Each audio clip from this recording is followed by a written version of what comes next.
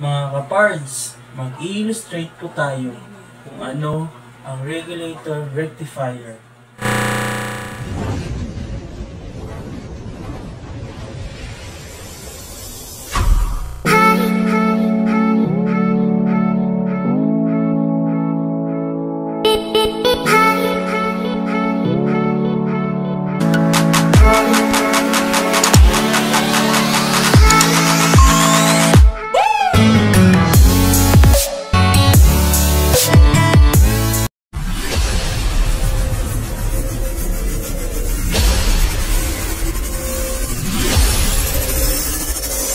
Ano ba ang regulator rectifier?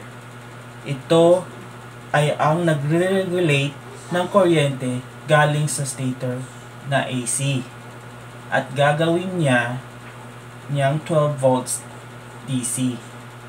Lumalabas dito, ang kuryente na dito ay 12 volts DC.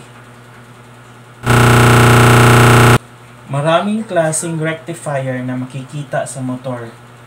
Isa sa mga halimbawa ay ang 4-pin na ito. Pero, ang common o palaging ginagamit ay ang kulay green at saka yung black. Ito ay ang 4-pin green regulator rectifier. Ito ay isa sa mga example ng rectifier 4-pin color green. Una, dito naka-attach yung color green uh, dito nakatouch yung body ground. Matic na yan. Na dito nakalagay. Tapos ang pangalawa ay color yellow dito. Ito ay light coil.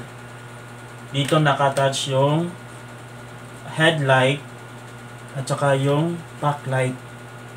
Ang pangatlo dito is color white yung charging coil. Uh, dito nanggagaling yung uh, pumapasok ang kuryente dito galing sa stator. Pagkatapos, ang pang-apat na pin, ito, color red na wire, dito nilalagay. Galing, galing stator na kuryente, papunta dito sa white na wire, nilalabas dito sa red na wire. Papuntang, ang kuryente dito, papuntang battery. Ito ang isa sa mga example na actual makikita sa motor. Color green na rectifier. Ito. Ayan.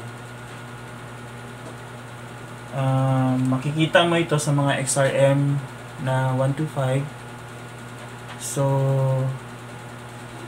ito, may indicator ito. May dalawang, may dalawang uh, rectifier, di ba? Black at saka green. Hindi mo sila pwede isampak agad doon sa outlet. Kasi ito,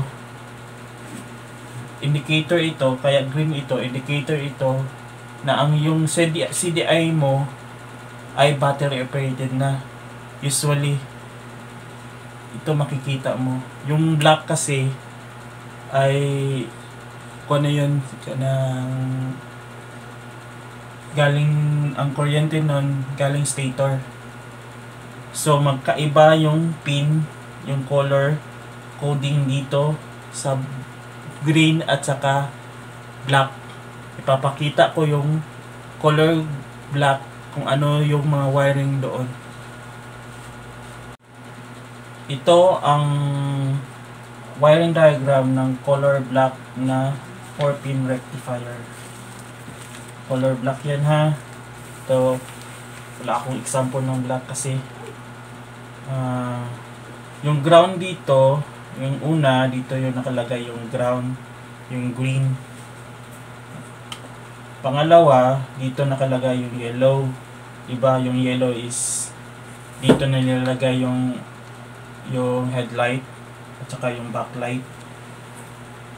Pangatlo, dito nilalagay banda sa baba ng red yung white na wire or pink sa iba. Ito ang charging coil. Dito na pumapasok 'di ba yung yung kuryente galing stator. So, nilalabas dito sa color red. Dito nakalagay yung red sa black na 4-pin regulator rectifier. Dito nakalagay yung red. Dito lumalabas yung kuryente papunta sa battery. Itong black na rectifier, ginagamit usually ito sa mga naka-stator na na mga motor na ang sumusupply dito ay stator. Yung isa, malalaman mo dito na ito ginagamit ito pag ang CDI mo ay uh, battery operated na. So magkaiba talaga yung black at saka yung wiring diagram ng black at saka green. So green or black or black ito. Tingnan nyo, iba dito. Dito green, dito sa sa baba is positive. Magkaiba talaga. So da, hindi pwede na na yung wire na outlet isampak mo kaagad dito sa mga wire na ito. Magka short circuit sila. Pwede mo pa rin ito gamitin itong rectifier na to, yung black at saka white, uh, yung green. Kasi same lang sila ng half wave sila. Pero ang kaibahan nila ay iba yung mga color dyan. Huwag mo na lang gamitin yung socket or pagpalit mo lang muna lang yung mga color doon. Pwede dito red, dito talaga i-red mo dito sa socket na na nilalagay dito. I-transfer mo na lang doon na red. Dito yellow. Yan. Sundin mo lang yung color. Pwede na. Magagamit mo pa. Kung kung yung rectifier mo ay black ang available na rectifier pwede mo pa rin to gagamitin pagpalit mo lang yung color basta sundin mo lang yung color para hindi mag short circuit yung motor mo Okay ba mga kapards? Sana may naitulong ako para ma maliwanagan or maintindihan nyo kung ano yung wiring diagram ng black at saka green or yung mga wiring diagram ng iba. Ito ay half wave rectifier. Okay?